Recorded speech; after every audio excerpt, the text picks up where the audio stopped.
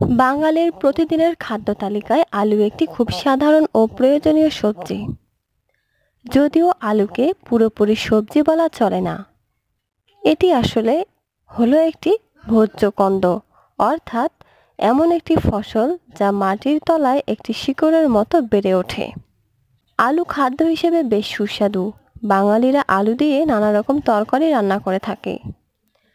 আলু একদিকে যেমন সস্তা তেমন আলু অত্যন্ত খাদ্যগুণ সম্পন্ন।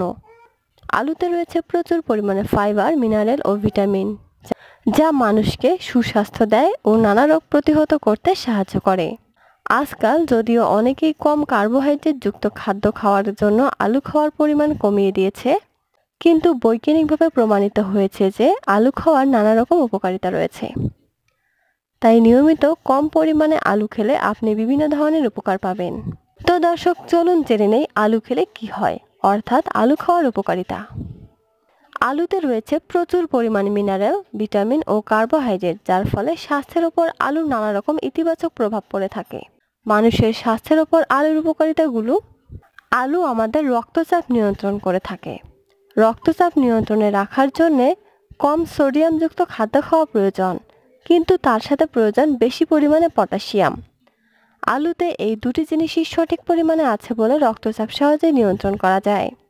হার্টের জন্য আলুতে রয়েছে ফাইবার, পটাশিয়াম, ভিটামিন সি ও বি সিক্স, যার ফলে কোলেস্টেরল নিয়ন্ত্রণ করা সম্ভব হয়। কোলেস্টেরল নিয়ন্ত্রণ হলে হার্টও সুস্থ থাকে।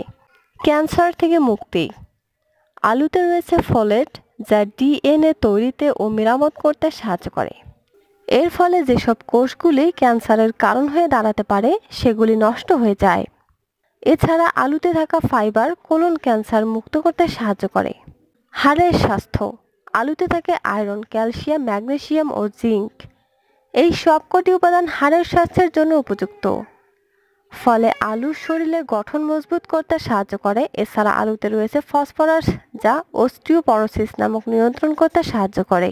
হজম ক্ষমতা শরীরে সঠিক পরিমাণে ফাইবার প্রবেশ করলে হজম করার ক্ষমতা বাড়ে ও পাচনতন্ত্র সঠিকভাবে চলতে থাকে। দাঁতের সমস্যা। দাঁত বা মাড়ির সমস্যার ক্ষেত্রে ভিটামিন সি বেশ উপযুক্ত। তাই এক টুকরো আলু দিয়ে রোজ দাঁত পরিষ্কার করলে দাঁতের নানা সমস্যা থেকে সহজেই মুক্তি পাওয়া সম্ভব। পেটের সমস্যা।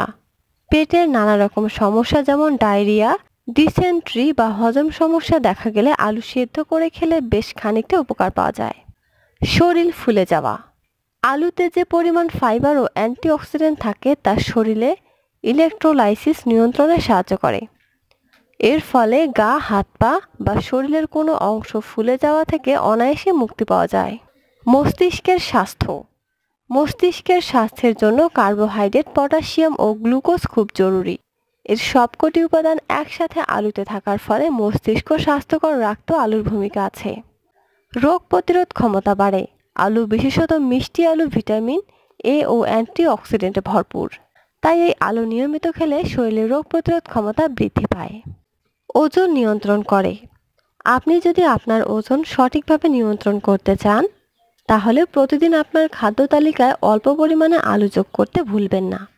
আলুতে অতি কম পরিমাণে ফ্যাট থাকে, যার ফলে পেট ভরা সত্ত্বেও ওজন বেশি বাড়ে না। তো দর্শক আপনাদের খাবারের তালিকায় নিয়মিত আলু রাখুন আর নিজেকে সুস্থ রাখুন। তো এই ছিল আমাদের আজকের ভিডিও। ভিডিওটি ভালো লাগলে অবশ্যই একটি লাইক দিন এবং শেয়ার করুন। সবাই ভালো থাকবেন, সুস্থ থাকবেন। ধন্যবাদ সবাইকে।